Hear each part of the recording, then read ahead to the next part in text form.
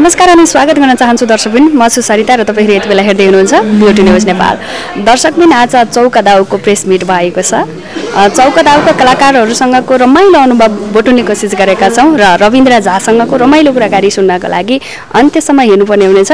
हाम्रो च्यानललाई सब्सक्राइब गर्ने गर्न नभुल्नुहोला। होइन त्यो बेला आफ्नो आफ्नै पार्टनरै जस्तो लाग्यो त्यो बेला। हामी अझ पनि रोमान्टिकै छौँ त्यति बुढो भइसकेको छैन छैन जवानी चढिरहेछ अनि उहाँहरू अ, गुवाको मुनि मान्छेहरूसँग एउटै केटी पसिरहेको छ तपाईँलाई कति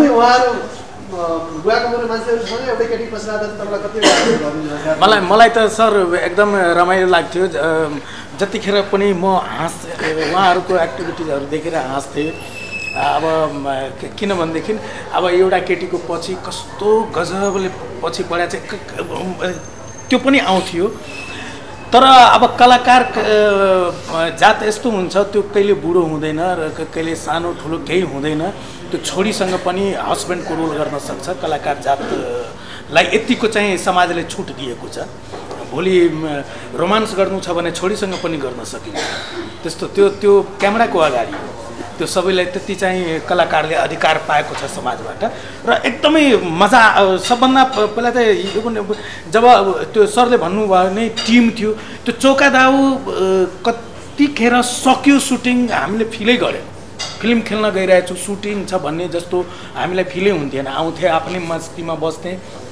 काम गर्थे र रमाइलो पनि हुन्थ्यो अनि डिस्कसन एकअर्का हाम्रो सबभन्दा पहिला उहाँहरू त्यत्रो सिनियर हुँदा पनि उहाँले पनि हामीलाई एकदम माया एउटा कुरा काट्यो है। कुरा के काट्छु भने उहाँहरू चाहिँ टाइम पनि एकदम कार्यक्रममा फिल्मको सुटिङमा एकदम पर्फेक्ट राम्रो हुनुहुन्थ्यो।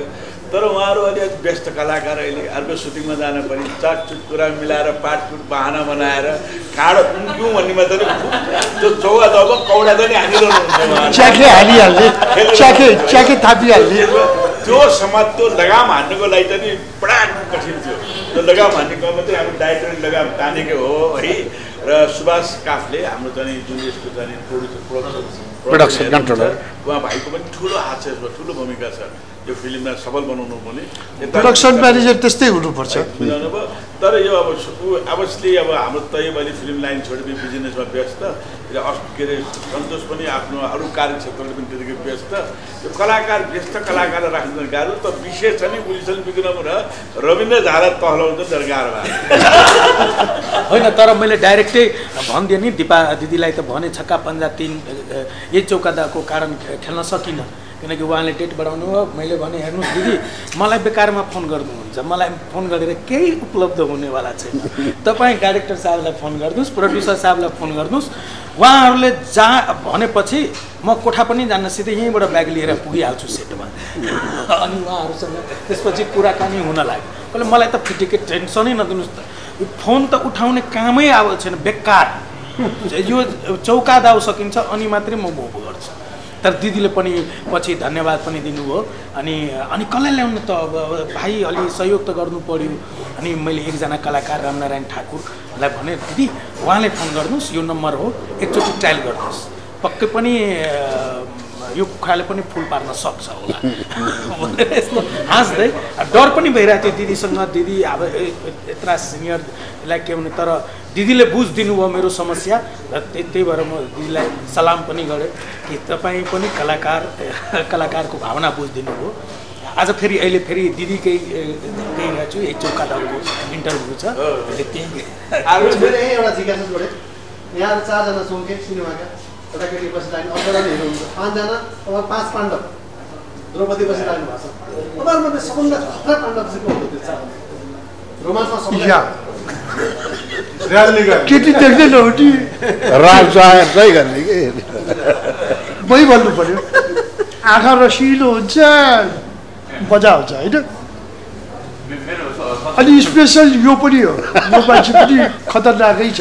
संसार एडभर्टिजमेन्ट जस्तो हजुरको जुन गाजरको एउटा ब्रान्ड भयो नि त्यो टेलिभिजनको ब्रान्डलाई फिल्ममा त्यही नाम प्रिभ्यू जान्छ त्यही नाममा फिल्म बनाउने अथवा केही अहिलेसम्म त गएर सोचेको थिइनँ हिजो अस्ति एउटा रेडियोमा म एउटा इन्टरभ्यू दिँदाखेरि त्यो हाम्रो कसले पनि तपाईँले किन बनाउनु भन्नुभयो भने तपाईँले पनि भन्नुभयो अनि त्यसपछि अरूहरूले पनि कुरा गर्छ अहिले चाहिँ अलिकति कुचु कुचु कुचु कुचु भइरहेछ है सोच्नै पर्ला कि जस्तो लागिरहेको छ अब चाहिँ अब अब मनोज भाइले सोध्ला प्रड्युसर त उयो हो हेरौँ।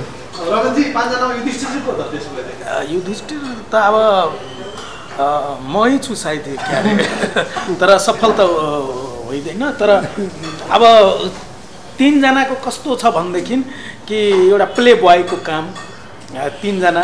हुन्छ नि एउटा पेन आउँथ्यो पहिला अहिले पनि पाउँछ होला। लिखो एन्ड फेको भन्थ्यो नि लेखेर सक्यो भने ताल्दिने। प्ले फादर अ, प्ले फादर त होइन बुहाई। त उहाँहरूको त्यो हुन्छ भित्रको जुन मैले स्क्रिप्ट पढ्दाको क्यारेक्टर बुझेँ र भएको पनि हो त्यस्तो। र म मेरो क- हुन्छ भनेदेखि म त बिहे गरेर श्रीमती नै बनाएर राख्ने सम्म मेरो चाहिँ धारणा रहन्छ। मेरो भनेपछि रविन्द्रको होइन त्यो त्यो टाइपको एजको हिसाबले युधिष्ठिर हुनुपर्ने सन्तोष छ तर युधिष्ठिरको जुन क्यारेक्टर छ के अरे सत्यवादी होइन आदर्शवादी भनौँ। न त्यसको ठ्याक्कै अगेन्स्टमा चाहिँ कन्ट्रास्टमा उहाँको क्यारेक्टर त्यहाँनिर युधिष्ठिर भनेर सबै युधिष्ठिर सबै कन्स सबै के अरे फिल्मको बेला धेरै गाह्रो थियो। मैले उहाँहरूलाई बताइदिएँ कि चौ दाउ कुन कुन हुन्छ कसरी हालिन्छ पारेर छाती ठोएर कसरी लिन्छ भन्ने जुन त्यो त्यो थाहा थिएन त्यो अब मेरो त्यो विल्सनले त कौडा हाने त्यत्रो छ कौडा हाने खालि एउटा त्यो पाउडर मात्र कि। त्यो सिकाइदिएको थिएँ। मेरो चाहिँ एउटा मैले कौडामा एकताली तेह्र हात खाएको छु। एकताली एघार हात खाएको छु। त्यो दुइटै खाँदाखेरि मेरो दुइटै ब्याड भएको छ। तेह्र हात खाएको वर्षमा मैले मेरो आफ्नो छोरीलाई गुमाएँ। एक्सिडेन्टमा मेरो छोरी मऱ्यो एघार हात खाएको बेला मेरो बुवा एक्सपायर भइसक्यो त्यसपछि त्यो बेलादेखि हालेको छ उयो अस्ति फिल्ममा चाहिँ यसो हालेको जस्तो गरेर छु त्यो त्यसमा जुवा छोड्नु भएको अँ, त्यसपछि जुवा खेल्ने दसैँ तिहारमा हो अरू बेला म खेल्दिनँ त्यही। सबै दाउमा एउटा बढी हुन्छ त्यसमा आठ आठ एउटा दाउ बढी हुन्छ चौकामा त्यसमा त्यो लिन्छ र सुरु गर्दा पनि त्यही चौका दाउबाट गर्छ एन्ड पनि त्यही चौका दाउमै हुन्छ कि त्यो गेमको? मैले कहिले खेलेको छैन। जुवा त म तास अ, मा ट्वेन्टी एट भन्छ त्यो आउँछ मलाई। 29 ट्वेन्टी ट्वेन्टी एट। 29 हो। भन्न पनि आइरहेको छ अनि जुवा त अहिलेसम्म मैले कहीँ खेलेकै छैन र बाजी पनि मैले लगाएको छैन। केहीमा अहिलेसम्म र तास भनेको त्यही दुईवटा मात्रै आउँछ खेल्न अरू केही यो यो कौडा त झन् के हो के? फिल्म सकिसक्यो अहिलेसम्म बुझेको छैन त्यो कौडा के हो त्यो। अब कतिले त अब अप्ठ्यारो मान्ने होला होइन? तर म चाहिँ यसो गर्दा अलिक ठिक होला कि भन्ने पनि भन्छु। त्यस्तो कुरा उहाँहरूले एसेप्ट पनि गर्नुभएको छ। उनीहरूले गरेको तारिफ पनि गर्छु। र हाम्रो सेटमा बस्दाखेरि अहिले पनि भन्नुभयो कि हामीले कहिले त्यो फिलै गरेनौँ कि सिनियर जुनियर भन्ने कुरा केही पनि भएन। हामी एउटा परिवार जस्तो भयो बिहान हामीले ए इन अदर वर्ड यो चाहिँ के भनौँ त्यो सुटिङ टाइमलाई चाहिँ हामीले पिकनिक जस्तो ठानेको थियौँ है। एउटा लङ पिकनिक के एक महिनाको लामो पिकनिक नि। है खालि फेरि धेरै पुरानो साथी मेरो तैयब है हामी त स्टेजमा जानुभन्दा पहिलादेखि नै चिन्न जाने हो। त्यसपछि ऊ हामी भने झन् झन् एउटै टोलेर ऊ क्षेत्र पार्टीको बनयाँ बजारको पुरानो साथी पनि भेट भयो फेरि पहिला गाई जात्रा टुरमा पनि एउटा त्यो पनि। अनि हामी त खालि ठट्टै ठट्टा गर्दा गर्दा अनि यिनीहरू चाहिँ हाम्रो ठट्टा हेरेरै बस्दिन्थे।